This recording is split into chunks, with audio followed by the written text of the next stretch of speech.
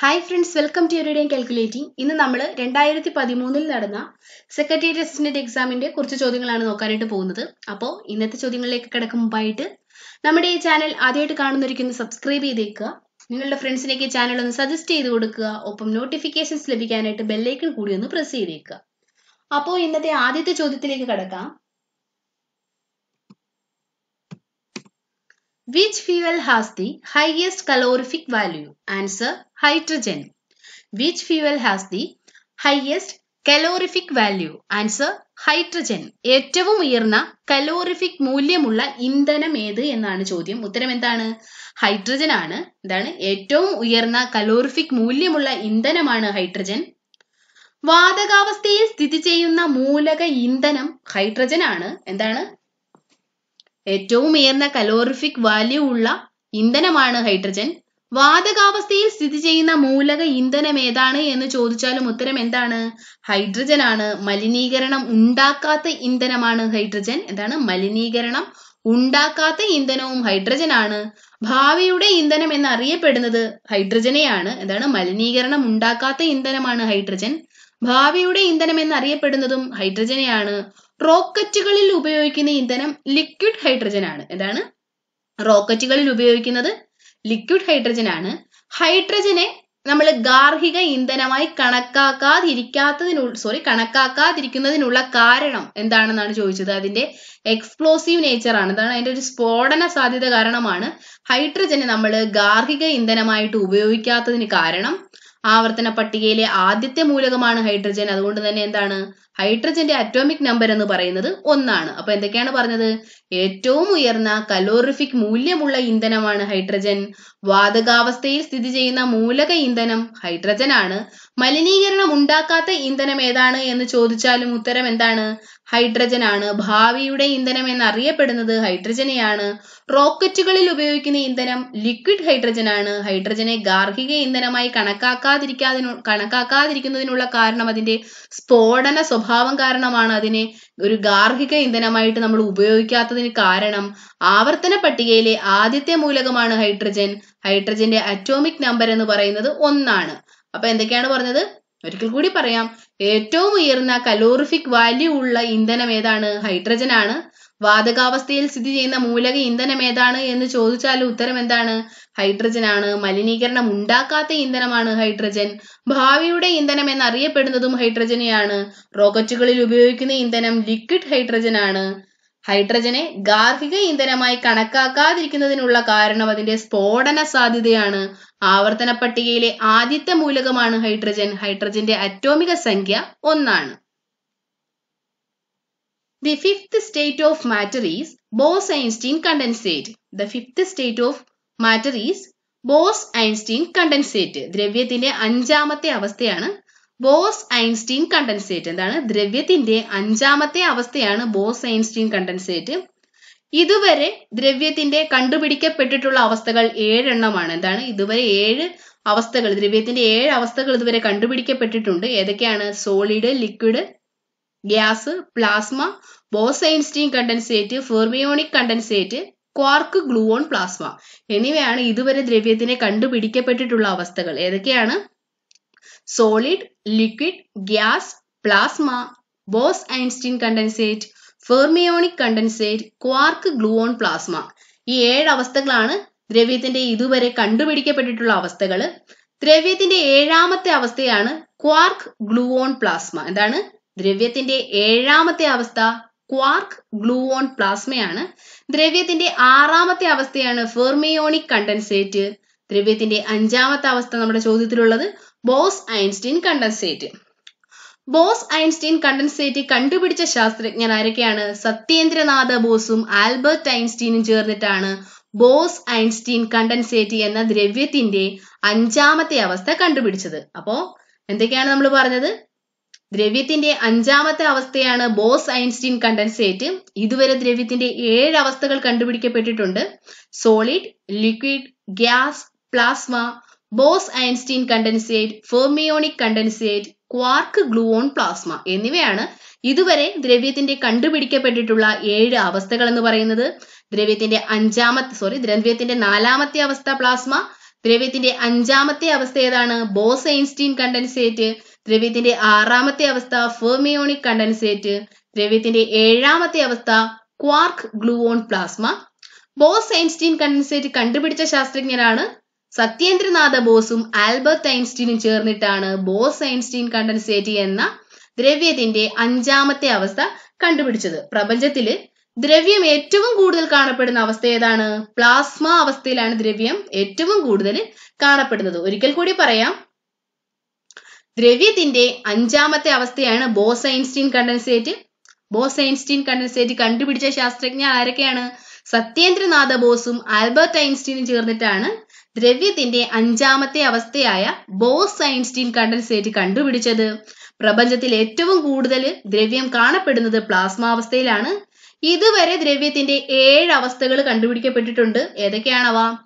Solid liquid gas നാലാമത്തെ അവസ്ഥ plasma അഞ്ച് ബോസ് ഐൻസ്റ്റീൻ കണ്ടൻസേറ്റ് ആറാമത്തെ അവസ്ഥ ഫെർമിയോണിക് കണ്ടൻസേറ്റ് ഏഴാമത്തെ അവസ്ഥയാണ് quark gluon plasma. The non-metal which exists in liquid state at room temperature is bromine. The non-metal which exists in liquid state at room temperature is bromine. Room room ടെമ്പറേച്ചറിൽ ദ്രാവകാവസ്ഥയിലുള്ള അലോഹം ഏതാണ് എന്നതാണ് ചോദ്യം ഉത്തരം എന്താണ് bromine ആണ് എന്താണ് റൂം ടെമ്പറേച്ചറിൽ ദ്രാവകാവസ്ഥയിൽ കാണപ്പെടുന്ന അലോഹം ഏതാണ് ഉത്തരം ബ്രോമിൻ ആണ് എന്നാൽ അന്തരീക്ഷ ഊഷ്മാവിൽ ദ്രാവകാവസ്ഥയിൽ സ്ഥിതി ചെയ്യുന്ന ലോഹം മെർക്കുറിയാണ്. എന്താണ്? സാധാരണ ഊഷ്മാവിൽ ദ്രാവകാവസ്ഥയിൽ കാണപ്പെടുന്ന അലോഹമാണ് ബ്രോമിൻ. എന്നാൽ സാധാരണ ഊഷ്മാവിൽ ദ്രാവകാവസ്ഥയിൽ കാണപ്പെടുന്ന ലോഹമാണ് മെർക്കുറി. മാറിപ്പോവരുത്. സാധാരണ ഊഷ്മാവിൽ ലിക്വിഡ് സ്റ്റേറ്റിൽ കാണപ്പെടുന്ന അലോഹം ബ്രോമിനും ലോഹം മെർക്കുറിയുമാണ്. ഏറ്റവും കുറഞ്ഞ തിളനിലയുള്ള മൂലകമാണ് ഹീലിയം. എന്താണ്? ഏറ്റവും കുറഞ്ഞ തിളനിലയുള്ള മൂലകം ഏതാണ് എന്ന് ചോദിച്ചാൽ ഉത്തരം എന്താണ്? ഹീലിയമാണ് ഏറ്റവും കൂടുതൽ സാന്ദ്രതയുള്ള അലോഹ മൂലകമാണ് അയഡിൻ അപ്പൊ എന്തൊക്കെയാണ് നമ്മൾ പറഞ്ഞത്? റൂം ടെമ്പറേച്ചറിൽ ദ്രാവകാവസ്ഥയിലുള്ള അലോഹമാണ് ബ്രോമിൻ. അന്തരീക്ഷ ഊഷ്മാവിൽ ദ്രാവകാവസ്ഥയിൽ സ്ഥിതി ചെയ്യുന്ന ലോഹം മെർക്കുറിയാണ്. ഏറ്റവും കുറഞ്ഞ തിളനിലയുള്ള മൂലകം ഹീലിയമാണ്. ഏറ്റവും കൂടുതൽ സാന്ദ്രതയുള്ള അലോഹ മൂലകം അയഡിനാണ് എല്ലാ ആസിഡുകളിലും അടങ്ങിയിരിക്കുന്ന മൂലകമാണ് ഹൈഡ്രജൻ. എന്താണ്? എല്ലാ ആസിഡുകളിലും അടങ്ങിയിരിക്കുന്ന മൂലകം ഏതാണ്? ഹൈഡ്രജൻ ആണ്. ഇലക്ട്രോ നെഗറ്റിവിറ്റി ഏറ്റവും കൂടുതലുള്ള മൂലകം ഫ്ലൂറിൻ ആണ്. എന്തൊക്കെയാണ് പറഞ്ഞത്? ഏറ്റവും കുറഞ്ഞ തിളനിലയുള്ള മൂലകമാണ് ഹീലിയം. ഏറ്റവും കൂടുതൽ സാന്ദ്രതയുള്ള അലോഹ മൂലകമാണ് അയഡിൻ. എല്ലാ ആസിഡുകളിലും അടങ്ങിയിരിക്കുന്ന മൂലകം ഹൈഡ്രജൻ ആണ്. ഇലക്ട്രോ നെഗറ്റിവിറ്റി ഏറ്റവും കൂടുതലുള്ള മൂലകമാണ് ഫ്ലൂറിൻ. ഭൂമിയുടെ പേരിൽ അറിയപ്പെടുന്ന മൂലകമാണ് ടെലൂറിയം. ഇതാണ് ഭൂമിയുടെ പേരിൽ അറിയപ്പെടുന്ന മൂലകം ഏതാണ് എന്ന് ചോദിച്ചാൽ ഉത്തരം എന്താണ്? ടെലൂറിയം ആണ്.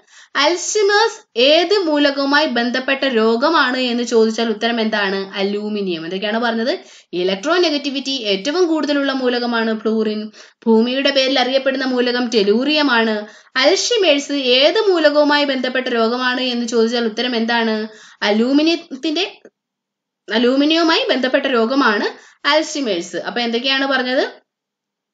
റൂം ടെമ്പറേച്ചറിൽ ദ്രാവകാവസ്ഥയിലുള്ള അലോഹം ബ്രോമിനാണ് അന്തരീക്ഷ ഊഷ്മാവിൽ ദ്രാവകാവസ്ഥയിൽ സ്ഥിതി ചെയ്യുന്ന ലോഹം മെർക്കുറിയാണ് ഏറ്റവും കുറഞ്ഞ തിളനിലയുള്ള മൂലകമാണ് ഹീലിയം. ഏറ്റവും കൂടുതൽ സാന്ദ്രതയുള്ള അലോഹ മൂലകമാണ് അയഡിൻ എല്ലാ ആസിഡുകളിലും അടങ്ങിയിരിക്കുന്ന മൂലകം ഹൈഡ്രജൻ ആണ്.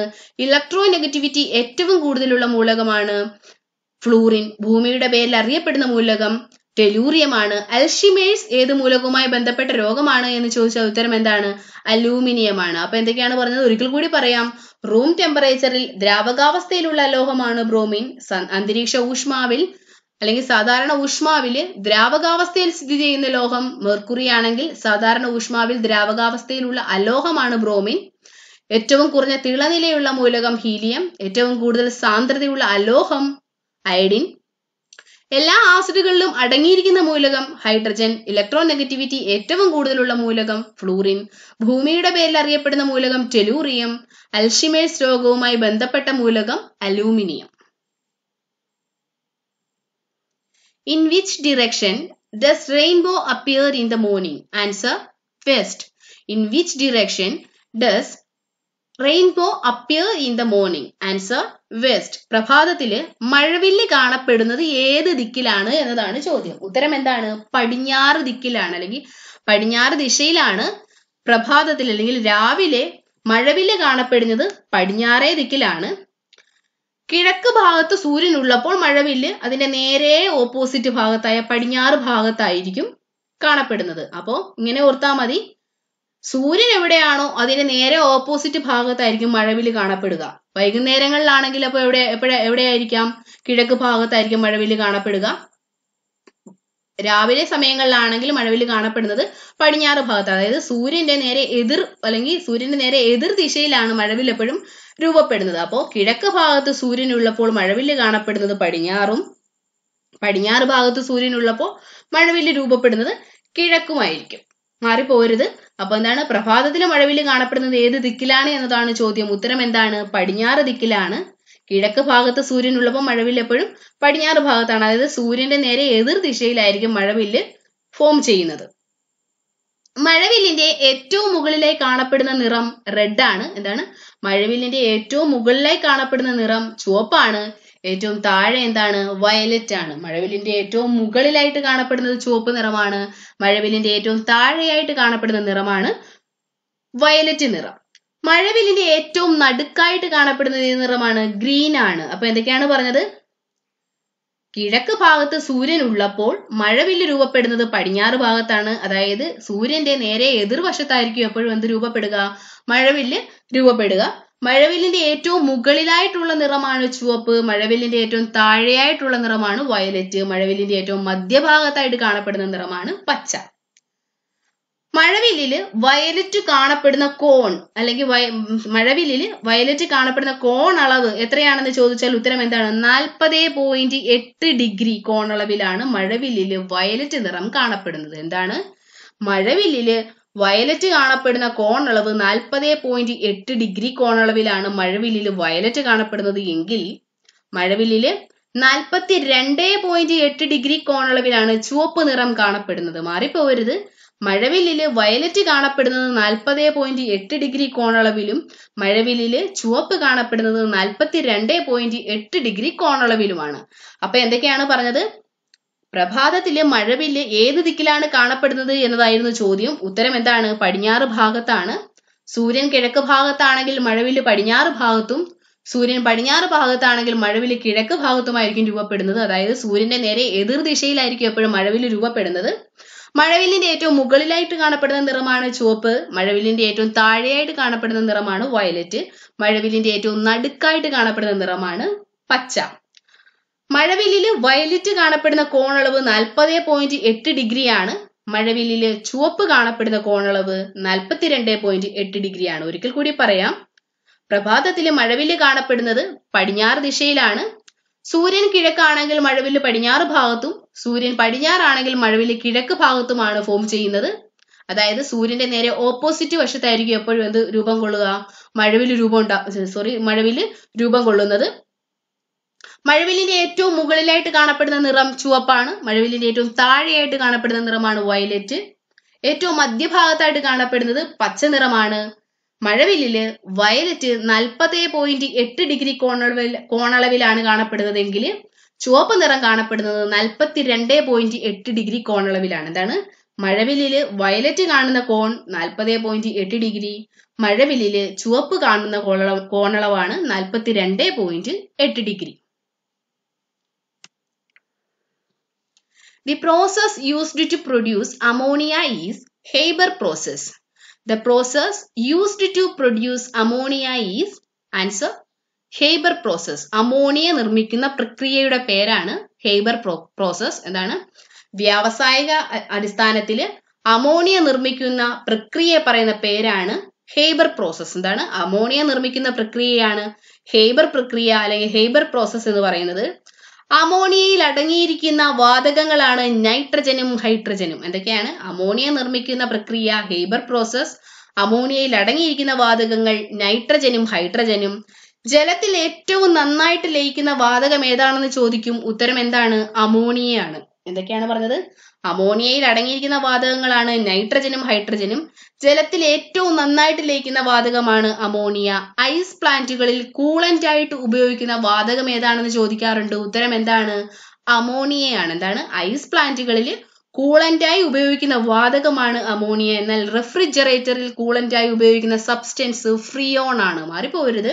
ഐസ് പ്ലാന്റുകളിൽ കൂളന്റ് ആയിട്ട് ഉപയോഗിക്കുന്ന വാതകം അമോണിയയാണ് എന്നാൽ റെഫ്രിജറേറ്ററിൽ കൂളന്റ് ആയിട്ട് ഉപയോഗിക്കുന്ന സബ്സ്റ്റൻസ് ആയതാണ് ഫ്രിയോൺ ആണ്. അന്തരീക്ഷ വായുവിനേക്കാൾ ഭാരം കുറഞ്ഞ വാതകമാണ് അമോണിയ. എന്താണ്? അന്തരീക്ഷ വായുവിനേക്കാൾ ഭാരം കുറഞ്ഞ വാതകമാണ് അമോണിയ. ക്ഷാര സ്വഭാവമുള്ള ഏക വാതകവും അമോണിയയാണ് ആൽക്കലൈൻ സ്വഭാവമുള്ള ഏക വാതകവും ഏതാണ്? അമോണിയയാണ് അപ്പൊ എന്തൊക്കെയാണ് പറഞ്ഞത്? അമോണിയ നിർമ്മിക്കുന്ന പ്രക്രിയയുടെ പേരാണ് ഹെയ്ബർ പ്രോസസ്. അമോണിയയിൽ അടങ്ങിയിരിക്കുന്ന വാതകങ്ങൾ ഹൈഡ്രജനും നൈട്രജനുമാണ്. ജലത്തിൽ ഏറ്റവും നന്നായി ലയിക്കുന്ന വാതകമാണ് അമോണിയ. ഐസ് പ്ലാന്റുകളിൽ കൂളന്റ് ആയിട്ട് ഉപയോഗിക്കുന്ന വാതകം ഏതാണെന്ന് ചോദിക്കും. ഉത്തരം എന്താണ്? അമോണിയയാണ്. എന്നാൽ റെഫ്രിജറേറ്ററുകളിൽ കൂളന്റ് ആയിട്ട് ഉപയോഗിക്കുന്നത് സബ്സ്റ്റൻസ് ഏതാണ്? ഫ്രിയോൺ ആണ്. അന്തരീക്ഷ വായുവിനേക്കാൾ ഭാരം കുറഞ്ഞ വാതകമാണ് അമോണിയ. ആൽക്കലൈൻ സ്വഭാവമുള്ള ഏക വാതകവും അമോണിയയാണ്. ഒരിക്കൽ കൂടി പറയാം. അമോണിയ നിർമ്മിക്കുന്ന പ്രോസസ്സിനെയാണ് ഹെയ്ബർ പ്രോസസ് എന്ന് പറയുന്നത്. അമോണിയയിൽ അടങ്ങിയിരിക്കുന്ന വാതകങ്ങൾ ഹൈഡ്രജനും നൈട്രജനുമാണ്. ജലത്തിൽ ഏറ്റവും നന്നായിട്ട് ലയിക്കുന്ന വാതകമാണ് അമോണിയ. ഐസ് പ്ലാന്റുകളിൽ കൂളന്റായി ഉപയോഗിക്കുന്ന വാതകം അമോണിയയാണ്. എന്നാൽ റെഫ്രിജറേറ്ററിൽ കൂളന്റായിട്ട് ഉപയോഗിക്കുന്ന സബ്സ്റ്റൻസ് ഫ്രീയോൺ ആണ് അന്തരീക്ഷ വായുവിനേക്കാൾ ഭാരം കുറഞ്ഞ വാതകമാണ് അമോണിയ. ക്ഷാര സ്വഭാവമുള്ള അല്ലെങ്കിൽ ആൽക്കലൈൻ സ്വഭാവമുള്ള ഏക വാതകം ഏതാണെന്ന് ചോദിക്കാം? ഉത്തരം എന്താണ്? അമോണിയ ആണ് which river is called a river between two mountains answer Narmada which river is called a river between two mountains answer Narmada പർവതങ്ങൾക്കിടയിലൂടെ ഒഴുകുന്ന നദി എന്നറിയപ്പെടുന്ന നദി ഏത്? ഉത്തരം എന്താണ്? നർമ്മദയാണ്. എന്താണ്? പർവതങ്ങൾക്കിടയിലൂടെ ഒഴുകുന്ന നദിയാണ് നർമ്മദ നദി. വിന്ധ്യ സത്പുര പർവതങ്ങൾക്കിടയിലൂടെയാണ് നർമ്മദ ഒഴുകുന്നത്. എന്താണ്? പർവതങ്ങൾക്കിടയിലൂടെ ഒഴുകുന്ന നദി എന്നറിയപ്പെടുന്ന നദിയാണ് നർമ്മദ നദി. വിന്ധ്യ സത്പുര പർവതങ്ങൾക്കിടയിലൂടെയാണ് നർമ്മദ ഒഴുകുന്നത്. നർമ്മദ നർമ്മദ നദിയുടെ ഉത്ഭവ സ്ഥാനം എന്ന് പറയുന്നത് മധ്യപ്രദേശിലെ അമർഖണ്ഡ് കുന്നുകളിലെ മൈക്കല പർവതനിരകളാണ് നർമ്മദാ നദിയുടെ ഉത്ഭവ സ്ഥാനം എന്ന് പറയുന്നത്. എന്താണ്? മധ്യപ്രദേശിലെ അമർഖണ്ഡ കുന്നുകളിലെ മൈക്കല പർവതനിരകളിൽ നിന്നുമാണ് നർമ്മദാ നദി ഉത്ഭവിക്കുന്നത്. പടിഞ്ഞാറോട്ട് ഒഴുകുന്ന ഉപദ്വീപീയ നദികളിൽ ഏറ്റവും വലിയ നദിയാണ് നർമ്മദാ നദി. എന്താണ്? പടിഞ്ഞാറോട്ട് ഒഴുകുന്ന ഉപദ്വീപീയ നദികളിൽ ഏറ്റവും വലിയ നദി നർമ്മദാ നദിയാണ്. ഭ്രംശ താഴ്വരയിലൂടെ ഒഴുകുന്ന പ്രധാനപ്പെട്ട നദിയാണ് നർമ്മദ നദി. പ്രാചീന കാലത്ത് നർമ്മദ അറിയപ്പെട്ടിരുന്നത് രേഖ എന്ന പേരിലാണ്. എന്താണ്? പ്രാചീന കാലത്ത് നർമ്മദ അറിയപ്പെട്ടിരുന്നത് ഏത് പേരിലാണ്? രേഖ എന്ന പേരിലാണ്. വിന്ധ്യ സത്പുര നിരകളിലൂടെ ഒഴുകുന്ന ഉപദ്വീപീയ നദിയാണ് നമ്മൾ നേരത്തെ പറഞ്ഞതാണ്. വിന്ധ്യ സത്പുര നിരകളിലൂടെ ഒഴുകുന്ന ഉപദ്വീപീയ നദി ഏതാണ് എന്ന് ചോദിക്കാം. ഉത്തരം എന്താണ്? നർമ്മദയാണ്. ഇന്ത്യയെ തെക്കേ ഇന്ത്യ എന്നും വടക്കേ ഇന്ത്യ എന്നും വിഭജിക്കുന്ന നദി നർമ്മദ നദിയാണ്. മധ്യപ്രദേശിന്റെ ജീവരേഖ എന്നറിയപ്പെടുന്നതും നർമ്മദ നദിയെയാണ്. എന്താണ്? മധ്യപ്രദേശിന്റെ ജീവരേഖ എന്നറിയപ്പെടുന്ന നദി നർമ്മദ നദിയാണ്. സർദാർ സരോവർ ഡാം ദുവാന്തർ വെള്ളച്ചാട്ടം എന്നിവയെല്ലാം സ്ഥിതി ചെയ്യുന്നത് നർമ്മദയിലാണ്. എന്തൊക്കെയാണ്? സർദാർ സരോവർ ഡാമും ദുവാന്തർ വെള്ളച്ചാട്ടവും സ്ഥിതി ചെയ്യുന്ന നദി ഏതാണെന്ന് ചോദിച്ചാൽ ഉത്തരം എന്താണ്? നർമ്മദ നദിയാണ്. അപ്പൊ ഒരിക്കൽ കൂടി പറയാം. പർവതങ്ങൾക്കിടയിലൂടെ ഒഴുകുന്ന നദി എന്നറിയപ്പെടുന്ന നദിയാണ് നർമ്മദ നദി. വിന്ധ്യ സത്പുര നിരകൾ വിന്ധ്യ സത്പുര പർവതങ്ങൾക്കിടയിലൂടെയാണ് നർമ്മദ നദി ഒഴുകുന്നത്. നർമ്മദ നദിയുടെ ഉത്ഭവ സ്ഥാനം ഏതാണ്? മധ്യപ്രദേശിലെ അമർഖണ്ഡ കുന്നുകളിലെ മൈക്കല പർവത നിരകൾ സോറി മൈക്കല പർവത നിരകളിൽ നിന്നാണ് നർമ്മദ നദി ഉത്ഭവിക്കുന്നത്. എന്താണ്? മധ്യപ്രദേശിലെ അമർഖണ്ഡ കുന്നുകളിലെ മൈക്കല പർവത നിരകളിൽ നിന്നുമാണ് നർമ്മദാ നദി ഉത്ഭവിക്കുന്നത്. പടിഞ്ഞാറോട്ടൊഴുകുന്ന ഉപദ്വീപീയ നദികളിൽ ഏറ്റവും വലിയ നദിയാണ് നർമ്മദ. ഫ്രംശ താഴ്വരയിലൂടെ ഒഴുകുന്ന പ്രധാനപ്പെട്ട നദി നർമ്മദയാണ്. പ്രാചീന കാലത്ത് രേഖ എന്നറിയപ്പെടുന്ന നദിയാണ് നർമ്മദ നദി. മധ്യപ്രദേശിന്റെ ജീവരേഖ എന്നറിയപ്പെടുന്നത് നർമ്മദ നദിയെയാണ്. സർദാർ സരോവർ ഡാം ദുവാന്തർ വെള്ളച്ചാട്ടം എന്നിവയെല്ലാം സ്ഥിതി ചെയ്യുന്നത് നർമ്മദാ നദിയിലാണ്. ഒരിക്കൽ കൂടി പറയാം. പർവതങ്ങൾക്കിടയിലൂടെ ഒഴുകുന്ന നദി എന്നറിയപ്പെടുന്ന നദിയാണ് നർമ്മദ. വിന്ധ്യ സത്പുര പർവതങ്ങൾക്കിടയിലൂടെയാണ് നർമ്മദ നദി ഒഴുകുന്നത്. നർമ്മദയുടെ ഉത്ഭവസ്ഥാനം മധ്യപ്രദേശിലെ അമർഖണ്ഡക് കുന്നുകളിലെ മൈക്കല പടിഞ്ഞാറോട്ട് ഒഴുകുന്ന ഉപദ്വീപീയ നദികളിൽ ഏറ്റവും വലിയ നദിയാണ് നർമ്മദ നദി. ഫ്രംഷ താഴ്വരയിലൂടെ ഒഴുകുന്ന പ്രധാനപ്പെട്ട നദിയാണ് നർമ്മദ നദി. പ്രാചീന കാലത്ത് നർമ്മദ അറിയപ്പെട്ടിരുന്നത് രേഖ എന്ന പേരിലാണ്. അതുപോലെ തന്നെ മധ്യപ്രദേശിന്റെ ജീവരേഖ എന്നറിയപ്പെടുന്ന നദി ഏതാണെന്ന് ചോദിക്കാം. ഉത്തരം എന്താണ്? നർമ്മദയാണ്. സർദാർ സരോവർ ഡാമും ദുവാന്തർ വെള്ളച്ചാട്ടവും സ്ഥിതി ചെയ്യുന്നത് നർമ്മദാ നദിയിലാണ് നർമ്മദാ നദിയിലൂടെയാണ്. ഒരിക്കൽ കൂടി പറയാം. പർവതങ്ങൾക്കിടയിലൂടെ ഒഴുകുന്ന നദി എന്നറിയപ്പെടുന്നത് നർമ്മദാ നദിയെയാണ്. ഏതൊക്കെ പർവതങ്ങൾക്കിടയിലൂടെയാണ് നർമ്മദ ഒഴുകുന്നത്? വിന്ധ്യ സത്പുര പർവതങ്ങൾക്കിടയിലൂടെയാണ് നർമ്മദാ നദി ഒഴുകുന്നത്. നർമ്മദാ നദി ഉത്ഭവിക്കുന്നത് മധ്യപ്രദേശിലെ അമർഖണ്ഡക് കുന്നുകളിലെ മൈക്കല പർവത നിരകളിൽ നിന്നുമാണ് പടിഞ്ഞാറോട്ട് ഒഴുകുന്ന ഉപദ്വീപീയ നദികളിൽ ഏറ്റവും വലിയ നദിയാണ് നർമ്മദ. ഭ്രംശ താഴ്വരയിലൂടെ ഒഴുകുന്ന പ്രധാനപ്പെട്ട നദിയും ഏതാണ്? നർമ്മദയാണ്. പ്രാചീന കാലത്ത് നർമ്മദ അറിയപ്പെട്ടിരുന്നത് രേഖ എന്നാണ്. മധ്യപ്രദേശിന്റെ ജീവരേഖ എന്നറിയപ്പെടുന്നതും നർമ്മദയാണ് സർദാർ സരോവർ ഡാമും ദുവാന്തർ വെള്ളച്ചാട്ടവും സ്ഥിതി ചെയ്യുന്നത് Narmada നദിയിലാണ്. The longest river in peninsular India. Answer Godavari. The longest river in peninsular India. Godavari. ഉപദ്വീപീയ ഇന്ത്യയിലെ ഏറ്റവും നീളം കൂടിയ നദി ഏതെന്നാണ് ചോദ്യം ഉത്തരം എന്താണ് ഗോദാവരിയാണ് എന്താണ് ഉപദ്വീപീയ ഇന്ത്യയിലെ ഏറ്റവും നീളം കൂടിയ നദി ഏതാണ് ഉത്തരം എന്താണ് ഗോദാവരിയാണ് പൂർണമായും ഇന്ത്യയിലൂടെ ഒഴുകുന്ന ഏറ്റവും നീളം കൂടിയ നദിയാണ് ഗോദാവരി എന്താണ് ഇന്ത്യയിലെ ഏറ്റവും നീളം കൂടിയ രണ്ടാമത്തെ നദി ഗോദാവരിയാണ് പൂർണമായും ഇന്ത്യയിലൂടെ ഒഴുകുന്ന ഏറ്റവും നീളം കൂടിയ നദി ഗോദാവരിയാണ്. മാറിപ്പോകരുത് ഉപദ്വീപീയ ഇന്ത്യയിലെ ഏറ്റവും നീളം കൂടിയ നദി ഗോദാവരി. ഇന്ത്യയിലെ ഏറ്റവും നീളം കൂടിയ രണ്ടാമത്തെ നദി ഗോദാവരി. പൂർണമായും ഇന്ത്യയിലൂടെ ഒഴുകുന്ന ഏറ്റവും നീളം കൂട നീറ്റം സോറി ഏറ്റവും നീളം കൂടിയ നദി ഗോദാവരി. എന്തൊക്കെയാണ്? ഉപദ്വീപീയ ഇന്ത്യയിലെ ഏറ്റവും നീളം കൂടിയ നദിയാണ് ഗോദാവരി. പൂർണമായും ഇന്ത്യയിലൂടെ ഒഴുകുന്ന ഏറ്റവും നീളം കൂടിയ നദിയും ഗോദാവരിയാണ്. എന്നാൽ ഇന്ത്യയിലെ ഏറ്റവും നീളം കൂടിയ രണ്ടാമത്തെ നദിയാണ് ഗോദാവരി. വൃദ്ധഗംഗ എന്നറിയപ്പെടുന്നത് ഗോദാവരിയാണ്. എന്താണ് വൃദ്ധഗംഗ എന്നറിയപ്പെടുന്ന നദിയാണ് ഗോദാവരി. ഗോദാവരിയുടെ ഉത്ഭവസ്ഥാനം നാസിക്കിലെ ത്രയംബക കുന്നുകളിൽ നിന്നാണ്. എന്താണ്? മഹാരാഷ്ട്രയിലെ നാസിക്കിലെ ത്രയംബക കുന്നുകളിൽ നിന്നാണ് ഗോദാവരി നദി ഉത്ഭവിക്കുന്നത്. നമ്മൾ നേരത്തെ നർമ്മദയുടെ കാര്യം പറഞ്ഞിരുന്നു. നർമ്മദ നദി എവിടെ നിന്നാണ് ഉത്ഭവിക്കുന്നത്? മധ്യപ്രദേശിലെ മൈക്കല പർവത നിരകളിൽ നിന്നുമാണ് നർമ്മദാ നദി ഉത്ഭവിക്കുന്നത്. ഗോദാവരി ഉത്ഭവിക്കുന്നത് നാസിക്കിലെ ത്രയംബക കുന്നുകളിൽ നിന്നാണ്. മഹാരാഷ്ട്രയിലെ നാസിക്കിലെ ത്രയംബക കുന്നുകളിൽ നിന്നാണ് ഗോദാവരി നദി ഉത്ഭവിക്കുന്നത്. ഗോദാവരിയുടെ തീരത്തെ പ്രധാനപ്പെട്ട പട്ടണങ്ങളാണ് നാസിക് നിസാമാബാദ്. എന്തൊക്കെയാണ്? നാസിക് നിസാമാബാദ് എന്നിവ ഗോദാവരിയുടെ തീരത്തെ പ്രധാനപ്പെട്ട പട്ടണങ്ങളാണ്. അപ്പൊ എന്തൊക്കെയാണ് പറഞ്ഞത്? ഉപദ്വീപീയ ഇന്ത്യയിലെ ഏറ്റവും നീളം കൂടിയ നദിയാണ് ഗോദാവരി. ഇന്ത്യയിലെ ഏറ്റവും നീളം കൂടിയ രണ്ടാമത്തെ നദിയും ഗോദാവരിയാണ്. പൂർണമായും ഇന്ത്യയിലൂടെ ഒഴുകുന്ന ഏറ്റവും വലിയ നദിയാണ് ഗോദാവരി. വൃദ്ധഗംഗ എന്നറിയപ്പെടുന്നത് ഗോദാവരിയാണ്. ഗോദാവരിയുടെ ഉത്ഭവസ്ഥാനം മഹാരാഷ്ട്രയിലെ നാസിക്കിലെ ത്രയംബക കുന്നുകളാണ്. ഗോദാവരി തീരത്തെ പ്രധാനപ്പെട്ട പട്ടണങ്ങളാണ് നാസിക്കും നിസാമാബാദും. ഒരിക്കൽ കൂടി പറയാം. ഉപദ്വീപീയ ഇന്ത്യയിലെ ഏറ്റവും നീളം കൂടിയ നദിയാണ് ഗോദാവരി. ഇന്ത്യയിലെ ഏറ്റവും നീളം കൂടിയ രണ്ടാമത്തെ നദി ഗോദാവരിയാണ്. പൂർണമായും ഇന്ത്യയിലൂടെ ഒഴുകുന്ന ഏറ്റവും നീളം കൂടിയ നദി ഗോദാവരിയാണ്. വൃദ്ധഗംഗ എന്നറിയപ്പെടുന്നത് ഗോദാവരിയാണ്. രേഖ എന്നറിയപ്പെട്ടിരുന്നത് ആരാണ്? നർമ്മദാ നദിയാണ്. ഗോദാവരി തീരത്തെ പ്രധാനപ്പെട്ട പട്ടണങ്ങളാണ് നാസിക് നിസാമാബാദ് എന്നിവ.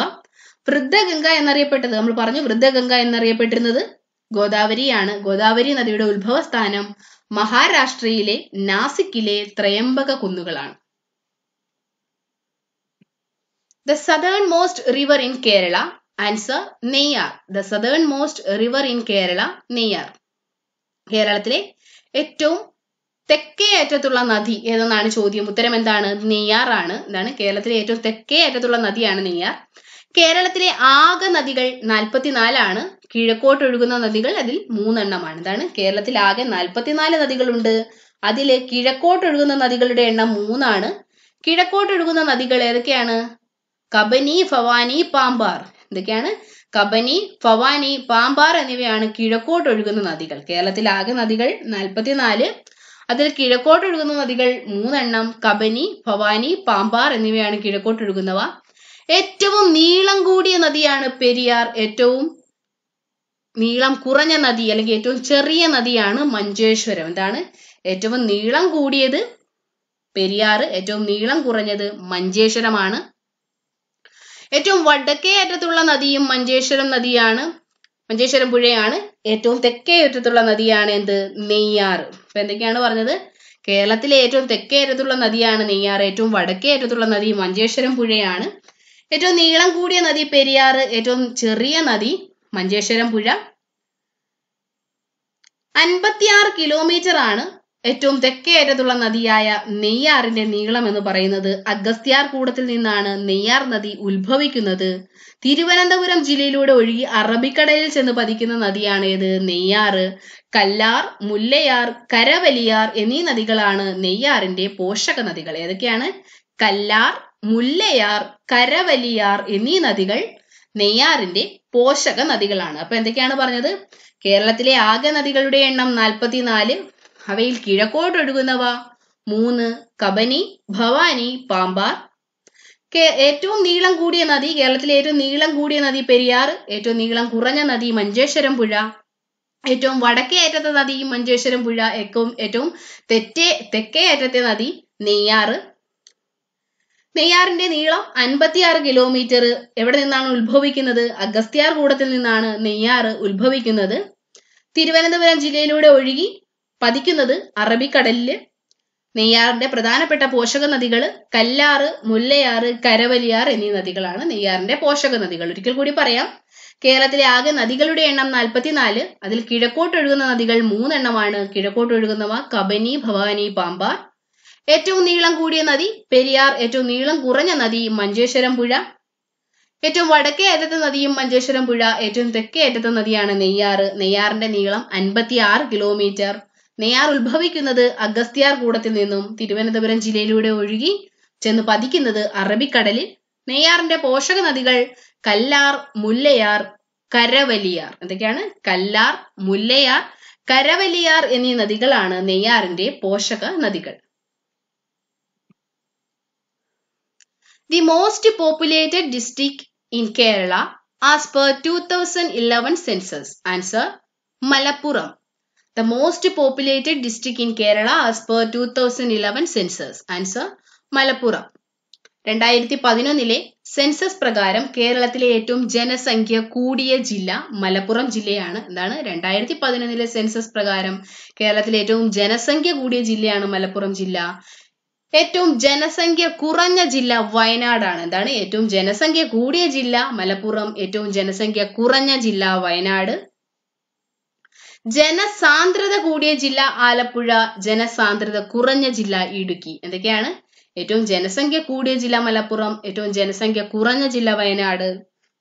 ജനസാന്ദ്രത കൂടിയ ജില്ല ആലപ്പുഴ ജനസാന്ദ്രത കുറഞ്ഞ ജില്ല ഇടുക്കി.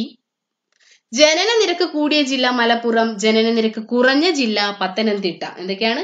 ജനന നിരക്ക് കൂടിയ ജില്ല മലപ്പുറം ജനന നിരക്ക് കുറഞ്ഞ ജില്ല പത്തനംതിട്ട. ഒരിക്കൽ കൂടി പറയാം രണ്ടായിരത്തി പതിനൊന്നിലെ സെൻസസ് പ്രകാരം കേരളത്തിൽ ഏറ്റവും കൂടുതൽ ജനസംഖ്യയുള്ള ജില്ലയാണ് മലപ്പുറം. ഏറ്റവും ജനസംഖ്യ കുറഞ്ഞ ജില്ല വയനാടാണ്. ജനസാന്ദ്രത കൂടിയ ജില്ല ആലപ്പുഴ ജനസാന്ദ്രത കുറഞ്ഞ ജില്ല ഇടുക്കി. ജനന നിരക്ക് കൂടിയ ജില്ല മലപ്പുറം ജനന നിരക്ക് കുറഞ്ഞ ജില്ല പത്തനംതിട്ട. ഒരിക്കൽ കൂടി പറയാം.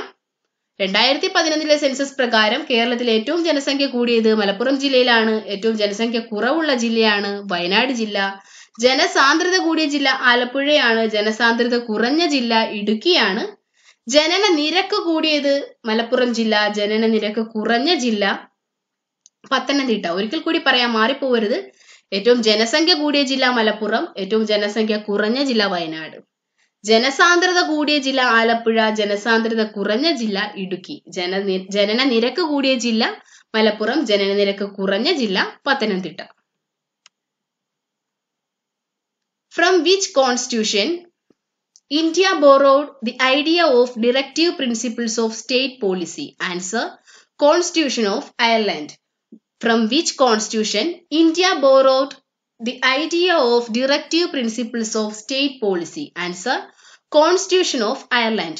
നിർദ്ദേശക തത്വങ്ങൾ ഇന്ത്യൻ ഭരണഘടന കടം കൊണ്ടത് ഏത് രാജ്യത്തു നിന്നുമാണ്? എന്താണ്? നിർദ്ദേശക തത്വങ്ങൾ ഇന്ത്യൻ ഭരണഘടന കടം കൊണ്ടത് ഏത് രാജ്യത്തിൽ നിന്നുമാണ് എന്നതാണ് ചോദ്യം. ഉത്തരം എന്താണ്? അയർലൻഡിൽ നിന്നുമാണ്. അയർലൻഡിന്റെ കോൺസ്റ്റിറ്റ്യൂഷനിൽ നിന്നുമാണ്. അയർലൻഡിന്റെ ഭരണഘടനയിൽ നിന്നുമാണ് ഇന്ത്യൻ ഭരണഘടന നിർദ്ദേശക തത്വങ്ങൾ കടം കൊണ്ടത്. ഇന്ത്യൻ ഭരണഘടനയുടെ നാലാം ഭാഗത്ത് ഉൾപ്പെടുത്തിയിരിക്കുന്ന മുപ്പത്തി ആറ് മുതൽ അൻപത്തി ഒന്ന് വരെയുള്ള അനുച്ഛേദങ്ങളാണ് നിർദ്ദേശക തത്വങ്ങൾ എന്താണ്? ഇന്ത്യൻ ഭരണഘടനയുടെ നാലാം ഭാഗത്ത് ഉൾപ്പെടുത്തിയിരിക്കുന്ന മുപ്പത്തി ആറ് മുതൽ അൻപത്തി ഒന്ന് വരെയുള്ള ആർട്ടിക്കിളുകളാണ് നിർദ്ദേശക തത്വങ്ങൾ മാർഗനിർദ്ദേശക തത്വങ്ങൾ എന്ന പേരിൽ അറിയപ്പെടുന്ന ഇവ ഭരണ നിർവഹണത്തിലും നിയമനിർമ്മാണത്തിലും ഭരണകൂടം പാലിക്കേണ്ട നിർദ്ദേശങ്ങളാണ്. എന്താണ്? ഇന്ത്യൻ ഭരണഘടനയുടെ നാലാം ഭാഗത്ത് ഉൾപ്പെടുത്തിയിരിക്കുന്ന മുപ്പത്തി ആറ് മുതൽ അൻപത്തി ഒന്ന് വരെയുള്ള അനുച്ഛേദങ്ങളാണ് നിർദ്ദേശക തത്വങ്ങൾ. മാർഗനിർദ്ദേശക തത്വങ്ങൾ എന്ന പേരിൽ അറിയപ്പെടുന്ന ഇവ ഭരണ നിർവഹണത്തിലും നിയമനിർമ്മാണത്തിലും ഭരണകൂടം പാലിക്കേണ്ട നിർദ്ദേശങ്ങളാണ് ഒരു ക്ഷേമ രാഷ്ട്രം എന്ന നിലയിൽ രാജ്യത്തിന്റെ ലക്ഷ്യങ്ങളായി അവയെ കണക്കാക്കിയിരിക്കുന്നു. അപ്പൊ എന്തൊക്കെയാണ് പറഞ്ഞത്? നിർദ്ദേശക തത്വങ്ങൾ ഇന്ത്യൻ ഭരണഘടന കടം കൊണ്ടത് അയർലൻഡിൽ നിന്നുമാണ്. ഇന്ത്യൻ ഭരണഘടനയുടെ നാലാം ഭാഗത്താണ് നിർദ്ദേശക തത്വങ്ങൾ ഉൾപ്പെടുത്തിയിരിക്കുന്നത്. എത്ര അനുച്ഛേദങ്ങൾ മുതലാണ്? മുപ്പത്തി ആറ് മുതൽ അൻപത്തി ഒന്ന് വരെയുള്ള അനുച്ഛേദങ്ങളാണ് നിർദ്ദേശക തത്വങ്ങൾ ഉൾപ്പെടുത്തിയിരിക്കുന്നത്.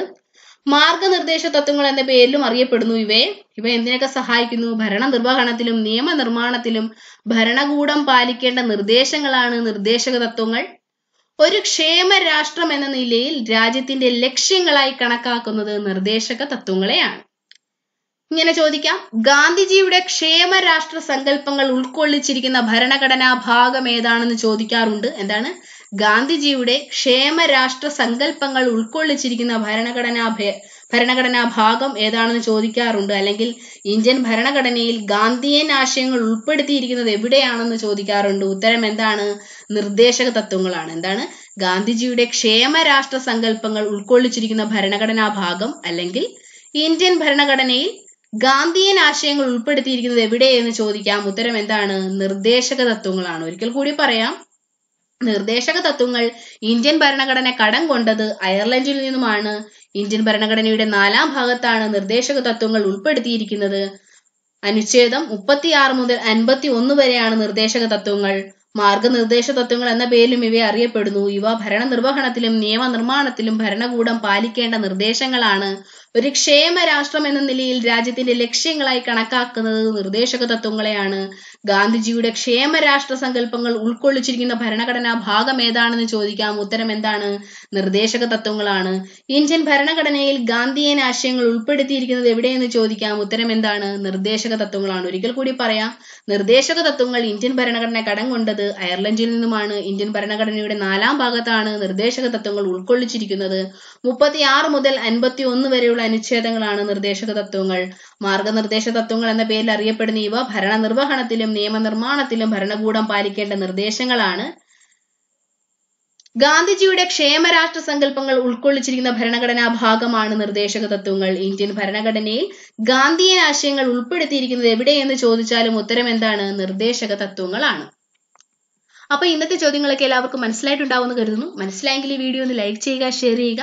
നമ്മുടെ ചാനൽ ഒന്ന് സബ്സ്ക്രൈബ് ചെയ്തേക്കുക അപ്പോൾ മറ്റൊരു വീഡിയോ ക്ലാസ്സുമായി വീണ്ടും കാണാം. Thanks for watching